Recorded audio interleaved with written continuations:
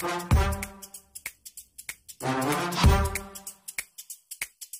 hari ini akhirnya kita keluar.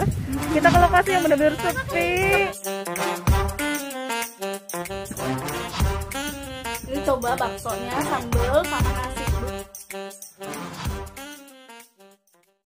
Hai guys, Assalamualaikum warahmatullahi wabarakatuh Balik maning koro inyong, Anggelia Saputri Oke, kali ini aku mau bikin tutorial dekorasi kembali Tentang dekorasi-dekorasi minimalis di dalam rumah. Kali ini aku lagi masang daun-daun Ini ada beringin dan juga daun anggur di stand bunga. Dan di sisi lain Mas Evan sedang uh, memasang kain dinding ya bukan kain plafon. Buat kalian yang gagal fokus dengan wajah aku yang bersinar ini aku ganti backgroundnya eh backgroundnya. Maksudnya posisi dari kameranya biar kalian bisa melihat wajah aku ini yang bulat. Bulat sekali wajah aku ternyata. Oke ini aku tusuk-tusukin bunga. Ada berbagai macam bunga dan warna.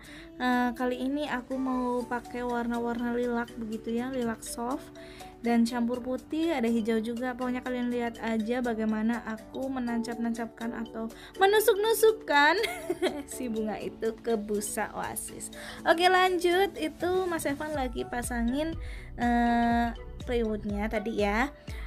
Aku nggak videoin untuk pemasangan plywood soalnya kelamaan. Nanti bakalan bosen kalian liatnya. Pokoknya jadinya seperti ini.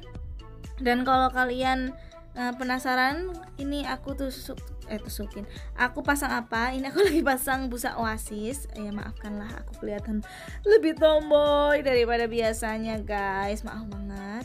Itu aku pasang busa oasis. Sebelumnya di bagian bawah busa oasis itu ada medianya supaya nanti oasisnya bisa tertancap atau menempel di plywood. Lanjut aku kasih daun. Ini aku kasih daun beringin uh, aku susun aja gimana bagusnya gimana baiknya gitu ya. Kalian pokoknya kalau mau tiruin kalian nggak usah persis sama kayak aku pas pemasangan. Silahkan kalian variasi sendiri aja biar kelihatan lebih cantik lebih hidup juga. Oke, di sini aku lanjut pasangin bunga-bunganya. Mas Evan lagi ngatur supaya uh, apa namanya ya kabelnya nggak berserakan di bawah. Soalnya ini memang lokasinya cukup sempit untuk pembuatan dekor cuma diberi space 2 meter untuk dekorasi. Jadinya sebelahnya itu terlihat hitam. Karena itu memang jalan keluar masuknya orang makanya kita nggak buat bikin dekor. Maksudnya gimana ya? Nggak aku tutup full buat dekorasi soalnya nanti buat keluar masuk orang karena ini udah mau selesai tinggal finishing aja Mas Evan udah ikat-ikat tangganya. Karena alhamdulillah sekali pas hari itu pas pemasangan dekorasi ini aku ada dua tempat. Yang satunya juga harus aku dekor sendiri dengan Mas Evan. Karena uh, Mas Tri lagi nggak bisa bantuin kita akhirnya kita berdua aja yang berangkat buat dekorasi. Ini aku mau bikin taman mini di bawah supaya nanti dekorasinya lebih cantik lebih elegan lebih terlihat hidup gitu ya. Ini aku tusuk-tusukin dulu bunga-bunga dan juga daun-daun. Pertama-tama aku kasih daun itu anggur dulu ya. Aku lipat-lipat apa ya maksudnya? Aku tekuk terus aku masukin. Pokoknya gitulah. Banyak kalian kalau mau bikin uh, sebisa kalian jangan terlalu berpatokan dengan apa yang aku buat gitu ya biar nggak susah.